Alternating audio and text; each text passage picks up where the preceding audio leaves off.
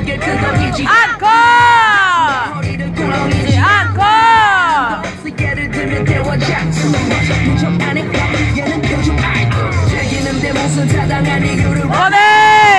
리듬 타기 좋은 한 원해 제목 정하자면 칭찬 노래를 틀면 고래도 춤추게 해야 된다